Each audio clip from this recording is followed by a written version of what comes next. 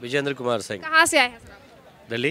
दिल्ली से हैं। सर क्या लग रहा है चौबीस में कौन प्रधानमंत्री बनना चाहिए? जिसको जिसने ये सारा काम किया उनको बनना चाहिए। तो सिर्फ़ वही नहीं जो पूरे भारत में जिन्होंने टॉयलेट बनाया पूरे भारत में जिन्होंने स्वच्छ भारत मिशन को बनाया उनको बनना चाहिए। बिल्कुल बनना बिल्कुल बनना सर आप कह रहे हैं मोदी जी बनने चाहिए पर विपक्ष जो है वो आजकल ज़्यादातर जैसे सॉरी गौतम अडानी को लेकर लगातार कंट्रोवर्सी बढ़ती जा रही। है विपक्ष तो वैसे ही कहते हैं गौतम अडानी का की जो इनकम है वो आप चेक करेंगी तो 2012 में सबसे 100 परसेंट इनकम बढ़ी। 12 में किसकी सरकार थी? वहीं विपक्ष को पता होना चाहिए। तो विपक्ष का काम है बोलना, लेकिन जो नज़र आता है, यही इंडिया गेट पे पहले आते थे, ना यहाँ फ्लावर्स नज़र आता था, ना उस साइड में कुछ नज़र आता था, ना पार्किंग ढंग से थी, ना जो सारी चीज़ें हैं तो जो दिखता है वो बिकता है। हाँ तो वही दिखाई दे रहा है, इसीलिए हल्ला किसी भी, मैं भी, आप भी यहाँ बात कर रही हैं, दूसरे न्यूज़ चैनल वाले आपका क्रिटिसिज्म करेंगे। इसका मतलब आप थोड़ी ख़राब हो गई।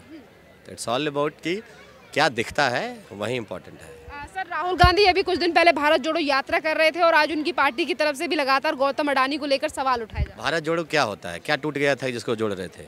इम्पोर्टेंट हुआ ना? वो भारत जोड़ो नहीं था अपनी पार्टी जोड़ो था। पार्टी में पोजीशन खत्म हो गई थी।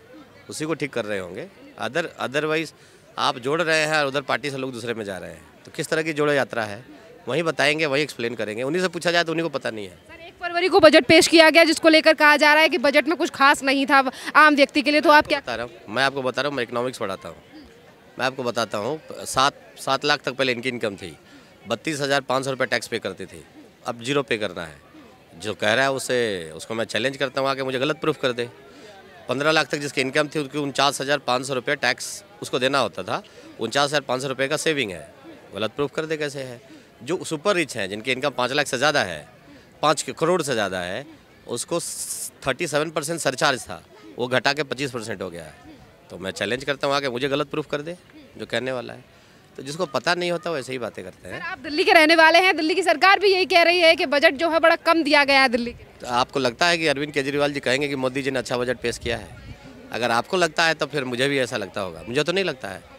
नहीं ना मुझे भी नहीं लगता उनको भी आपको भी नहीं लगता होगा कि वो ऐसा कहेंगे। अभी तो गुजरात में वो सरकार बना रहे थे अपनी। कितना अच्छा सरकार उन्होंने बनाया। वो ऐसे ही। है उन्होंने जैसे बोला एमसीडी में हम थोड़ा साफ़ कर देंगे दिल्ली एक महीने में। सात साल तो हो गए यमुना साफ़ करते करते। तो वो बोलते हैं करके दिखाएँ तो। मैंने भी पहली बार वोट दिया था उनको। लेकिन करके दिखाएँ तो ज़्यादा अच्छा है। मैम क्या नाम है आपका? प्रीति सिंह। मैम क्या लग रहा है चौबीस में कौन प्रधानमंत्री? Of coursely Modi ji. Ma'am Modi ji क्यों बनने चाहिए? क्योंकि वो हर तबके के लोगों का दुख सुख का ख्याल रखते हैं। इसलिए बनने चाहिए। महिलाओं की भागीदारी जो है वो 50 प्रतिशत है हर चीज़ में। तो क्या कहेंगी महिलाओं के लिए क्या क्या काम जो है वो मोदी सरकार की तरफ़ से किए नहीं वो अपने तरीके से हर काम को देख रहे हैं। जैसे आप देखो टॉयलेट मानो तो कितना ये छोटा सा ये है लेकिन देखो तो महिलाओं के लिए वो बहुत बड़ी बात है। खुले जगह जाना। आज देखो हर एक गाँव में बिजली हर एक गाँव में टॉयलेट महिलाओं के लिए 50 परसेंट तो आरक्षण पहले से ही है। उनके लिए बहुत सारे चीज़ें हैं बस महिलाओं को बस समझने की ज़रूरत है। जैसे टॉयलेट बनाना कितना बड़ा महिला की इज़्ज़त को सम्मान देना है। महिला सम्मान पत्र अभी बजट में इंट्रोड्यूस हुआ है। साढ़े सात परसेंट उस पर इंटरेस्ट है दो लाख तक इन्वेस्ट करती है। कोई भी ऐसा स्कीम बताइए जिसमें साढ़े सात परसेंट तक रिटर्न हो। इट्स ऑल अबाउट कि जो है वही है। अब तो मैं तो कहता हूँ कितने लोग कहते हैं सपोर्टर है। तो मुझे लगा सपोर्टर हर एक सही आदमी का होना चाहिए। नहीं।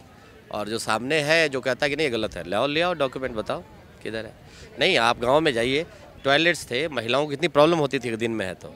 और आज टॉयलेट्स भारत में उस समय जो खुले में शौच था वो तिरसठ परसेंट था दो पंद्रह में। महिलाओं को देखो पहले चूल्हे पे खाना बनाना पड़ता था। देखो कितनी बड़ी समस्या को उन्होंने दूर किया है उज्ज्वला योजना को लेकर। तो ये सब चीज़ें हैं मैम। हो गया। पॉइंट फाइव परसेंट हो गया तो ज़ाहिर है जो दिखता है वही है। सर क्या नाम है आपका?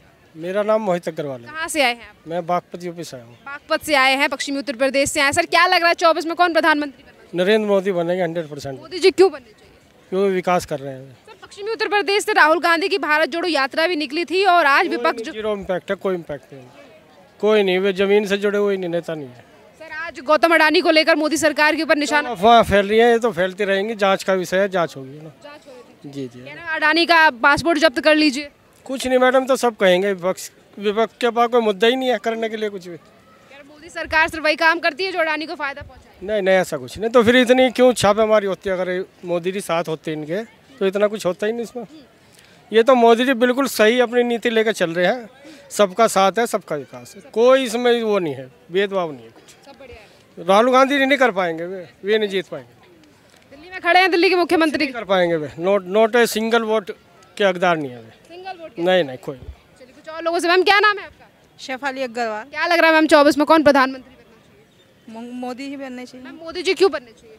क्योंकि वे जो कर रहे हैं अच्छा कर रहे हैं। अच्छा कर रहे हैं। हाँ। मैम क्या क्या काम आपको अच्छे लगे बस यही जो जो भी कुछ कर रहे हैं तो सब अच्छे के लिए ही कर रहे हैं जी। बहुत बहुत धन्यवाद आपका और भी लोगों से बात करते हैं। चौबीस को लेकर उनकी क्या राय है? सर क्या नाम है आपका? मेरा नाम उमर है। सर कहाँ से आए हैं केरला के। केरला से आए सर केरला से भारत जोड़ो यात्रा की शुरुआत हुई थी। तो क्या लग रहा है चौबीस में कौन प्रधानमंत्री बनना चाहिए? चौबीस में प्रधानमंत्री बनना चाहिए। भारत जोड़ो यात्रा में राहुल को ताकत बढ़ गया अभी। बढ़िया है। बहुत बढ़ गया है। अभी हम तो केरला से आया था। शुरुआत केरला में थे जम्मू में ख़त्म हो गया भारत जोड़ो यात्रा।